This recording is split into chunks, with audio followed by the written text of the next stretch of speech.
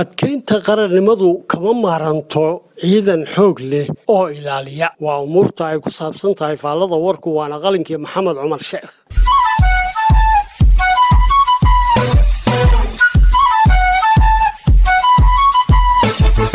adduunkan maanta aadamuhu ku nool yahay waa adduun ku dhisan awood dhaqaale awood ciidan iyo awood teknolojiyadeed. Saddexdaa ninkii aan mid ku lahaynina waxa uu noqonayaa cunto bisil oo meel u taalla kuwa kale. Dunidan maanta waxaa maamula dowlad kastaoo isbadaysa inay isleedahay awood ciidan oo muqoonin kara dalalkaan lahayn. Waxaana looga dambeeyaa howlaheeda iyo go'aamadeeda iyo meel kastoo ay danaheeda ka aragto xitaa haddii ay ku kalifayso inay awood ciidan ku farigeliso sidoo kale dunidan maanta dadka ku nooli sii badanayaan sanad kasta ayaa saameyn waxay dadkaas ku yeesheen cuntadii ama qutal daruurigii khayraadkii biyaha kii deegaanka magaalooyinkii berrigii badihii iyo nabadgelyadii taasoo keentay in waddan kastaa baadigoob ugu dhaqaaqo halka uu dadkiisa uga heli karo nolol wanaagsan oo leh caafimaad iyo barwaaqa waarta. Sidaa darteedna waxaa lagama maarmaan noqotay in dal uu samaysto cudud ciidan oo ka difaacayo dhulkiisa dadkiisa haddii ay tahay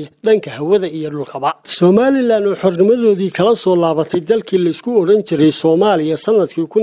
boqol koob iyo sagaashankii ayaa intii ay jirtay dhowr iyo soddonkaa sannadood waxay ka fikiraysay oo ku howlanayd sida ay dowladnimadeeda uga difaaci lahayd cid kastaoo isku daday inay xornimadaasi mar labaad ka habsaanto ama ka gaabso. Waxaana somalilan ay samaysatay ciidan kala duwan oo loogu talagalay ilaaladaha xuduudaha dalka amniga gudaha iyo badaha kuwaasina waxay ahayn ciidankii loogu talagalay inay dalka ka difaacaan weerare kaga yimaada dibadda. Taasina waxay keentay in somalilan ay ilaa maanta dhisnaato oo jirto dhinaca kalena waxaa la xoojiyey tababarada militari waxaana la casriyeeyey saanadooda. Si ciidanka somalilan u noqdo mid daafici kara dalkiisa iyo dadkiisa taasina waxay sababtay in somalilan maanta noqotay dalka dimuqraadiyadda siyaasadeed iyo doorashooyinka uga caansan dowlad la doortayba ay takale kursiga ka dhexlaysay sidaa darteed sidaa darteedna waxaa loo baahan yahay in xoogga la saaro ama la dardargeliyo tayeenta ciidamada qaranka iyo saanadooda si qarannimada iyo dowladda somalilan uga sii jirto geeskan afrika iyo dunida aynu ku noolnahay